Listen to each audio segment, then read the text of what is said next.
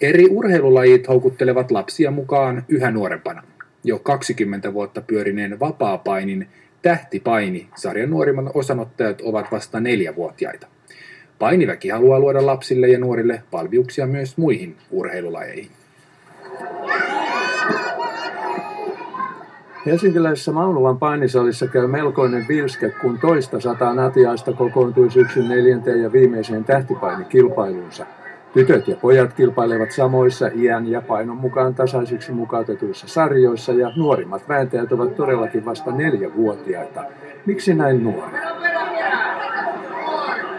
Jos me otamme harrastukseen mukaan esimerkiksi kouluiässä vasta, niin niitä ei enää paljon ole läheskään kaikki neljävuotiaat ei osallistu vielä kilpailuun, mutta ne, jotka haluaa, saavat osallistua. Ja sitten on huomattu, että ne, jotka käyvät kilpailussa, niin niiden harjoitteluun tulee selvää tavoitteellisuutta. Kilpaileminen nuorimmissa ikäluokissa on vain jäävuoren huippu, mutta sallittakoon halukkaille.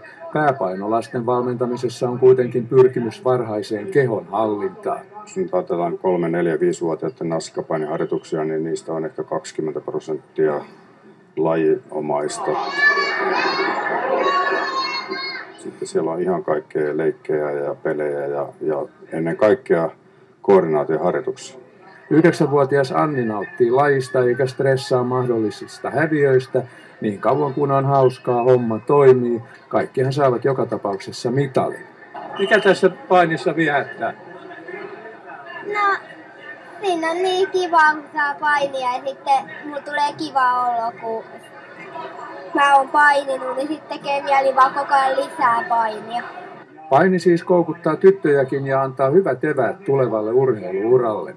Paini on tosi monipuolinen laji, laji ja tota, vaikka sitten myöhemmässä vaiheessa harrastaisi mitä tahansa urheilua. Ja väitän, että telinevoimistelun ja yleisurheilun rinnalla antaa hyvät pohjat kaikkeen urheiluun jatkossa.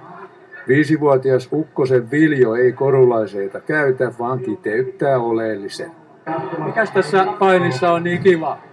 No, heittää niinku niskalenkkejä.